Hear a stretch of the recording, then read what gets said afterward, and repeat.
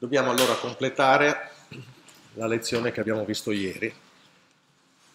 Abbiamo parlato del serbatoio, abbiamo rivisto adesso alcuni particolari e volevo fare alcuni commenti. Il primo è che la relazione V piccolo di S, perché non esce il mouse, eccolo qua, la relazione V piccolo minore di RT più 1, minore di V grande, è una relazione che è strutturalmente soddisfatta dalla funzione che definisce R. Quindi questo vincolo è un vincolo che non serve scrivere nei problemi, perché è implicito, è incluso nella definizione stessa della funzione R. Quindi non va inserito. Ricordatevi che ogni vincolo che voi inserite in un problema va verificato e un vincolo di uguaglianza, un vincolo di questo tipo costa tempo di risoluzione. Quindi peggiorate semplicemente il tempo di calcolo senza averne nessun vantaggio perché è sempre soddisfatto. Il vincolo analogo, in cui però al posto di R ci metto U, è un vincolo sbagliato non ha senso. Questo è errato. Perché? Perché non è vero che U deve essere vincolato tra questi due estremi. Questi due estremi dipendono da quello che accadrà, guardate l'NT più 1, che non mi è noto all'istante T in cui prendo la decisione. Quindi non posso rispettare questa condizione. La condizione di U è quella di essere nell'insieme di ammissibilità che avete visto abbiamo definito ieri, e qui al posto di nt più 1 c'è il massimo valore di nt più 1 e qui c'è il minimo valore di nt più 1. Quindi questo è il vincolo corretto, UDT appartenente a U grande di TST. Terzo, se nt più 1 fosse noto, non lo è mai, ma mettiamoci in un'ipotesi di sistema deterministico, quindi ci è noto in anticipo come andrà l'afflusso. Allora in quel caso R di T più 1 è sempre uguale a U e posso confonderli perché è chiaro che se io conosco in anticipo il valore di n posso prendere l'esatta decisione. Il motivo per cui U è diverso da R è che nt più 1 non è noto al momento in cui prendo la decisione. Quindi se mi metto in condizioni deterministiche, quindi di afflusso certo nel futuro, io ho l'identità. Il che significa che troverete, noi non lo faremo qui, ma troverete in letteratura molti articoli e molti trattati che lavorano sotto l'ipotesi di determinismo e quindi non si pongono il problema della differenza tra U e R. Il problema della differenza tra decisione e attuazione della decisione si pone solo quando ciò che accade nell'intervallo in cui viene realizzata la decisione,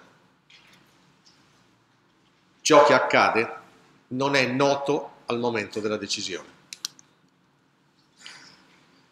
Ci sono poi forme alternative dell'equazione di continuità, noi non le useremo mai nel corso, ma di nuovo ve le faccio vedere perché vi può capitare di leggere letteratura o vedere articoli in cui vengono utilizzate. La prima è più ovvia, è quella di esprimere l'equazione di continuità in livello anziché in volume. Non è altro che la nostra, nostra equazione diviso per S.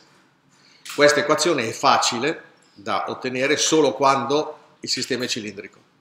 Quindi quando l'invaso ha una superficie S che è indipendente da H. Quindi avete un cilindro nel serbatoio. In quel caso lì è chiaro che dividendo tutto per S ottenete questa equazione. L'ho scritto al solito nel caso nt più 1 perché sono in condizione di cilindricità.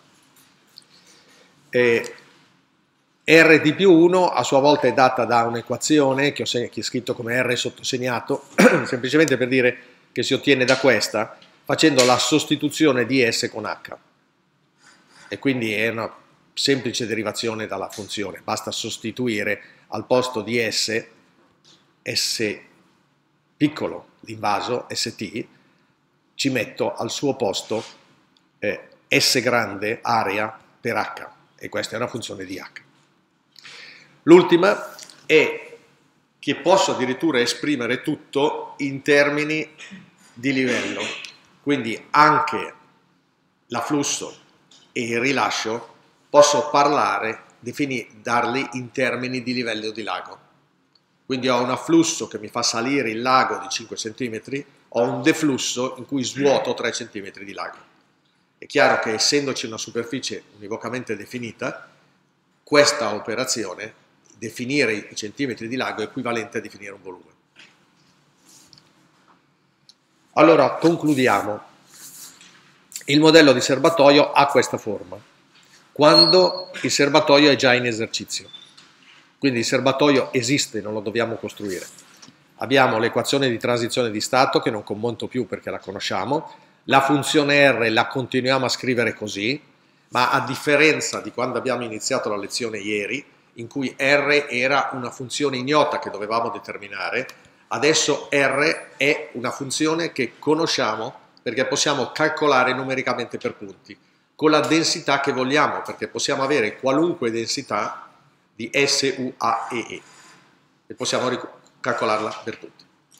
Poi c'è un insieme di uscite. Qui ho scritto tutte le uscite che normalmente ha il serbatoio, non in tutti i problemi avete tutte le uscite. Possiamo avere come uscita R, pensate quando avete degli utenti a valle e l'indicatore è il deficit. Allora avete bisogno di sapere quanto acqua viene fornita e l'acqua fornita dipende dalla portata erogata dal serbatoio, quindi R è un'uscita, è quello che io voglio ottenere dal modello. Se ho problemi di pieni sono interessati ad H, Potrei avere interessi sulla superficie a volte, molto raro questo.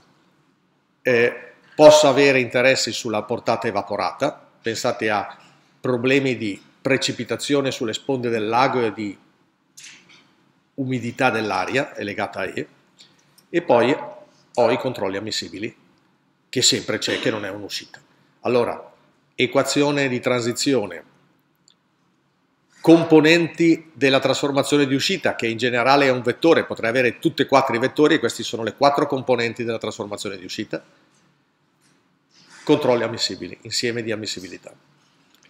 Se il serbatoio viene progettato invece, l'equazione è leggermente diversa, perché l'equazione è quella di prima, una volta che io ho definito una capacità UP maggiore di 0. Ma se la capacità UP è nulla, è chiaro che io non ho invaso domani. E quindi l'equazione di transizione mi dice ST più 1 è uguale a 0, come lo è oggi. Le equazioni di trasformazione di uscita sono le stesse. L'insieme di ammissibilità dei controlli è uguale a prima, ma con la differenza che adesso dipende da UP, perché è chiaro che se UP è uguale a 0, l'insieme dei controlli è l'insieme vuoto non posso prendere nessuna decisione perché non c'è il serbatoio.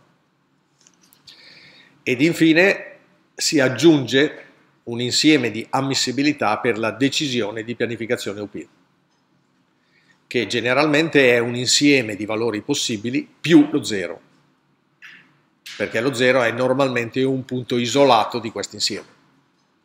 Non fate un serbatoio da 2 cc, 3 cc, 4 cc, centimetri cubici o è, non esiste e quindi è zero, oppure il più piccolo serbatoio è 10 milioni di metri cubi, quindi avete un intervallo di valori da 10 a 50 e il punto zero isolato.